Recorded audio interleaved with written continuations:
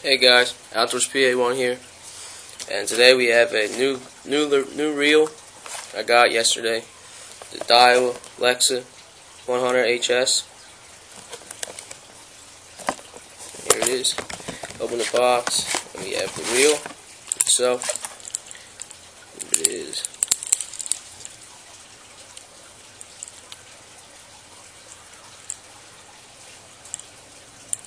Okay, inside the box is a manual. Tells you how to work it, how to, how to take apart the mag force braking system control, braking system.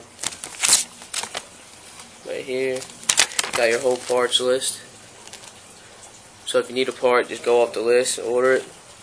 Makes it a little simpler.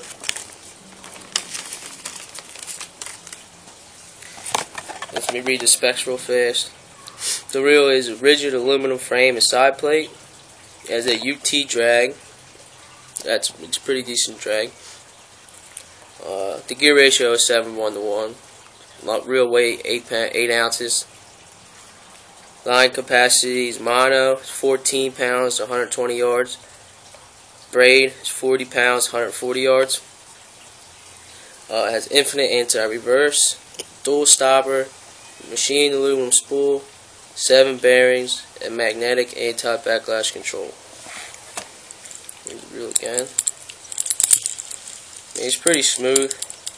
I can somewhat feel the gears, but I kind of like it. Here's the braking control. Clicking. If I can click it. What the heck? Oh, there it is. There's a little little uh, screw right here. You just pop it off, and it's spring loaded, so you can't you don't worry about losing it. Plate comes off. You take the spool out and everything to clean it. Clicking star drag. Big oversized grips. They're like a plastic rubber. They're pretty comfortable though. It does not have a clicking tension for the spool. $139.99. It's a pretty good deal, I guess, Daiwa. It's got a really good braking system, Daiwa. Magforce braking system. They're pretty well known, pretty good.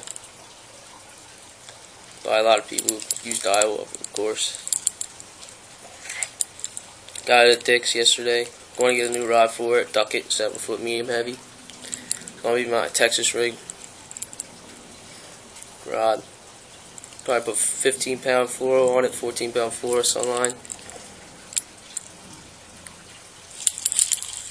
There's your Daiwa Lexa. Outdoors PA1. Like, comment, subscribe.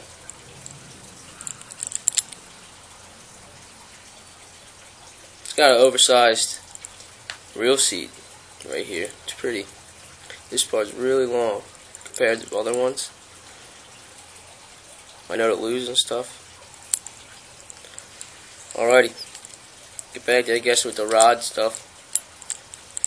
Next week, maybe I'll order it when I get my money from a grab party. Alright.